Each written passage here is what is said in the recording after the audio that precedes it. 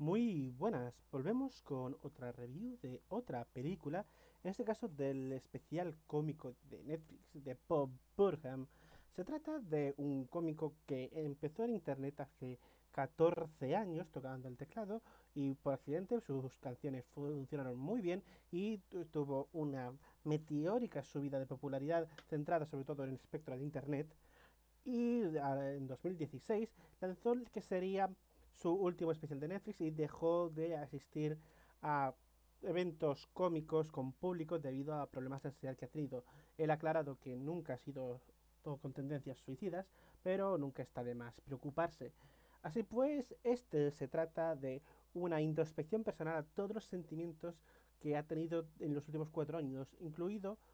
cuando después de mucho tiempo en terapia, a principios de enero de 2020 pensó que ya era hora de volver a hacer eh, tours con espectáculos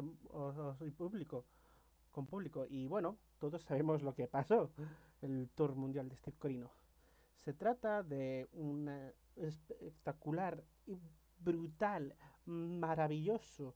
medio para buscar la introspección de este mundo en el que nos rodea. Pues analiza desde un punto de vista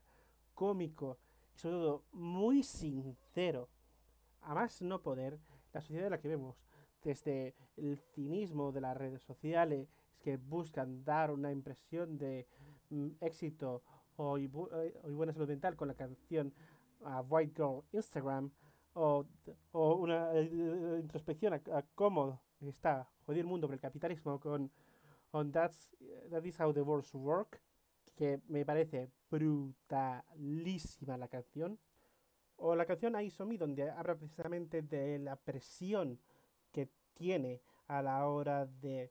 entender eh, su relación con el público, en el que ha dicho 20 veces, muchísimas, que él adora y teme el público, porque es lo mejor y lo peor que le ha pasado nunca, ya que gracias a él él consigue la fama, pero tiene unas consecuencias, el tener que contentar, el tener que eh, vaciarse y no tener nada para sí solo. O Hearing the World with Comedy, donde analiza la necesidad mm, de la gente de sentirse la solución a un problema a pesar de que no es lo suyo. Es una canción que habla sobre todo de eso, de realmente son los cómicos la novena avenida de Cristo para mm, hacer mejor el mundo a través de una comedia que a veces es banal o incluso o directamente dañina. O la canción